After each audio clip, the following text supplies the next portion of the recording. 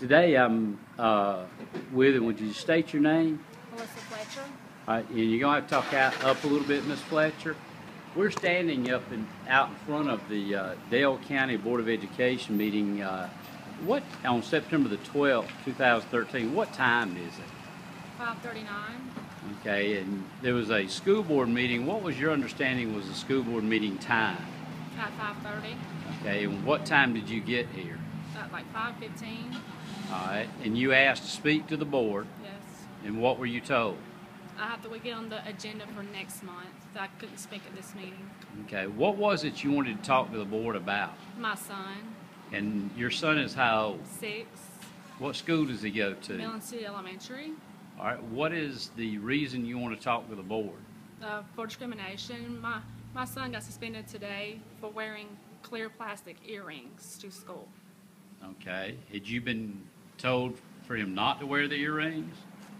Well, he called me Friday, M- Mr. Parker, and said that And Mr. Parker is who? the principal. Okay. And he called you and said what? for me to tell him take his earrings out or either pick him up. So I went and picked my son up. And I, I sub at the school, and I'll see other kids at the school wearing earrings, other little boys, but it's okay for them to wear earrings, but not my son.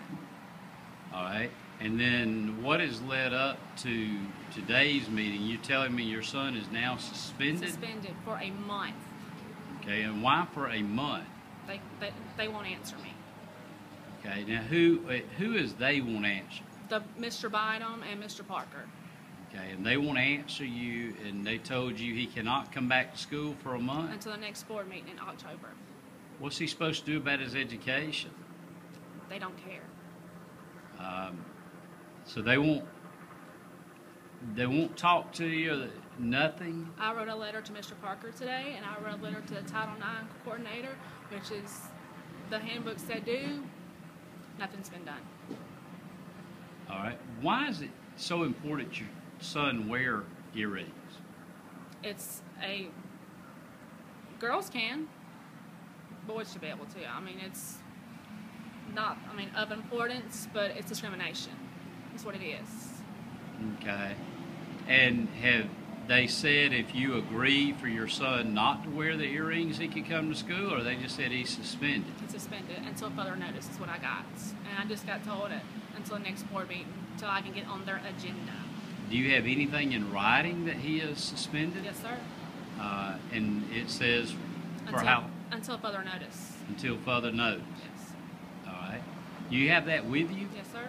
Okay. I'd like to get that, but the board. So I've got this straight again. The Board of Education that deals in education, and the meeting was only nine minutes tonight. Yeah. They refused to allow you to speak. Yes, sir. Had you told them you were coming? Yes, sir. I talked to Miss Lisa this morning, Who's Miss Lisa? the woman who answers the Board of Education phones, And what did she tell you? to be here at 5:30. Okay. And then who told you you couldn't speak? The meeting was pretty much adjourned by the time I. I mean, they, the sheriff's officer told me that I couldn't speak. Sheriff's officer Yes, told you you couldn't yes. speak? Okay. I wasn't on their agenda. Okay. And who told you your son is still suspended? One of the board members until the next board meeting. Who is a board member? Do you know? I don't know his name. Now, do you intend to tomorrow morning go ahead and carry your son to school for them to refuse him, or what do you intend to do? Talk to my lawyer. Okay. They giving you any justification why, if you go ahead and carry the, would you be willing to leave the earrings out until the No. next board meeting? No, sir. Why not? It's it is it is discrimination. I know it's discrimination, but if I'll pull my kids out of Dale County schools and they will go to Dothan City schools. okay, so Dothan City schools can wear earrings. Headland can, Opp can, Geneva can. I've called every school around here. okay, And it's prejudice, Mr. Parker. That's all it is. and he will not sit and talk with No, he told my husband to leave today. Is it in the handbook at the school? Yes, sir. Okay. Uh, but he still won't discuss it. No, sir. Anything else you want to say? No, sir. Thank you.